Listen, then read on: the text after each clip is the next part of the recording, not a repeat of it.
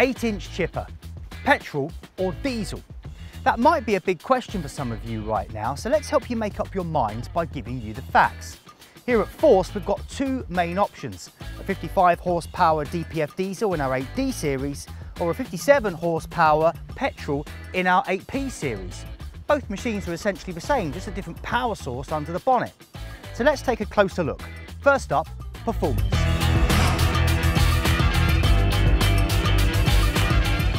So, as you can see, when it comes to the speed at which these machines chip, there isn't much in it. The petrol has two horsepower more, but the diesel has a little bit more torque. In terms of the way they handle the material and throw the chip, they're the same.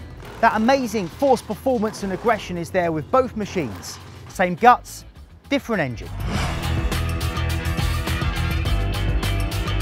So, fuel economy.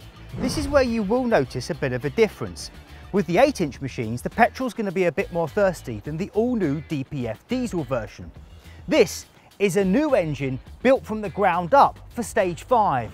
It's not an old engine made clean, it's a new engine and it's pretty fuel efficient. With the 6 inch chippers in the Först range, you won't really notice a difference between the petrol and diesel when it comes to fuel economy. But with the bigger engines, you'll notice it more.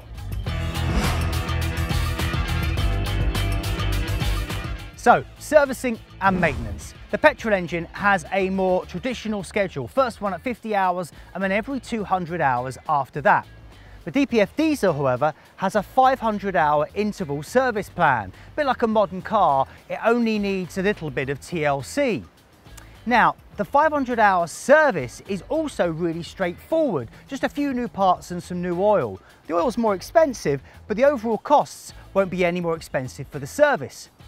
With the petrol servicing, although it's more frequent, it's also really simple. Just new filter and oil, just like you've been used to. Nothing you can't do yourself. The Doosan diesel has a three year warranty, the Kubota petrol has a one year.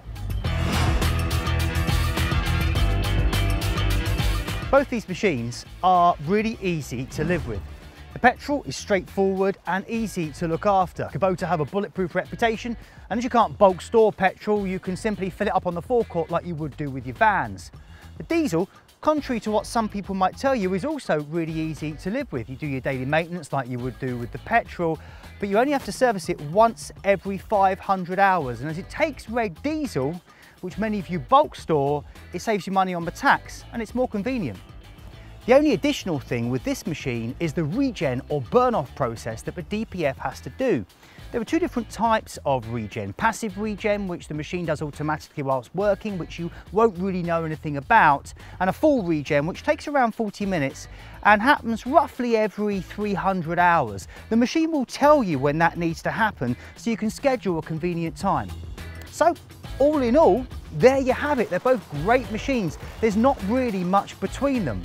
Why not book a demo and come and find out for yourself? Both machines come in both a wheeled or a tracked variant. So if you need an 8 inch chipper, we've got you covered.